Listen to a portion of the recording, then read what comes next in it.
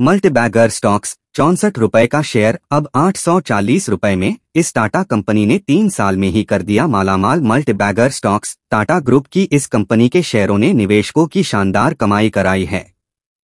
तीन साल में इसके भाव करीब एक हज़ार दो सौ फ़ीसदी चढ़े हैं और चौसठ रुपए का शेयर अब आठ सौ तीस रुपए पर पहुँच गया है।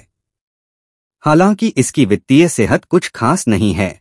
और पिछली सात में से छह तिमाहियों में यह घाटे में रही है मल्टीबैगर स्टॉक्स, टाटा ग्रुप की दिग्गज कंपनी तेजस नेटवर्क्स के शेयरों ने निवेशकों की शानदार कमाई कराई है। तीन साल में इसके भाव एक हज़ार दो सौ फ़ीसदी चढ़े हैं और चौसठ रुपए का शेयर अब आठ सौ तीस रुपए पर पहुँच गया है। हालाँकि इसकी वित्तीय सेहत कुछ खास नहीं है और पिछली सात में से छह तिमाहियों में यह घाटे में रही है। अब शेयरों की बात करें तो आज इसके शेयर लगभग फ्लैट भाव पर हैं और बीएसई पर फ़िलहाल महज एक दशमलव दो एक फ़ीसदी की कमज़ोरी के साथ आठ सौ उनतीस दशमलव चार पाँच रुपए पर बंद हुआ है। इसका फुल मार्केट कैप रुपए है। तीन साल में फटाफट ऊपर भागे शेयर तेजस नेटवर्क्स के शेयर तीन साल पहले 28 अगस्त 2020 को महज तिरसठ दशमलव आठ शून्य रुपए पर थे। अब यह आठ सौ उनतीस दशमलव चार पाँच रुपए पर है, यानी कि महज तीन साल में निवेशकों के एक लाख रुपए का निवेश करीब एक हज़ार दो सौ फ़ीसदी बढ़ गया। अब पिछले एक साल में शेयरों के मूवमेंट की बात करें तो इस साल 30 जनवरी 2023 को यह एक साल के निचले स्तर पाँच सौ दस दशमलव शून्य पाँच रुपए पर था। इसके बाद छह महीने से कम समय में यह पचहत्तर फ़ीसदी उछलकर 20 जुलाई 2023 को आठ सौ तिरानवे रुपए की रिकॉर्ड ऊंचाई पर पहुँच गया।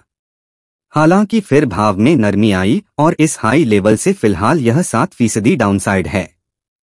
तेजस नेटवर्क्स की वित्तीय सेहत कैसी है? यह ऑप्टिल और डेटा नेटवर्किंग प्रोडक्ट्स तैयार करती है। इसके प्रोडक्ट्स की बिक्री telecom service internet internet service providers government कंपनियों को होती है। इसका कारोबार 75 से अधिक देशों में फैला हुआ है। जून 2023 तिमाही में इसका नेट लॉस आधार पर छह दशमलव छह चार करोड़ रुपए से बढ़कर छब्बीस दशमलव दो नौ करोड़ रुपए पर पहुँच गया।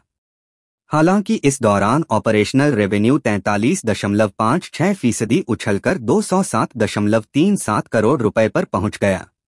चार्ट पर कैसा है शेयरों का हाल तेजस नेटवर्क्स के शेयर चार्ट स्थिति में दिख रहे हैं।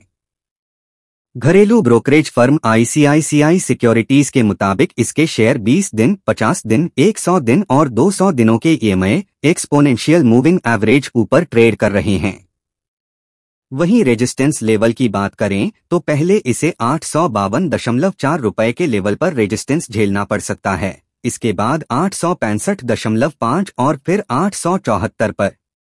वहीं डाउनसाइड बात करें तो आठ सौ तीस दशमलव सात, फिर आठ सौ बाईस दशमलव दो और फिर आठ सौ नौ दशमलव एक पर सपोर्ट मिल रहा है।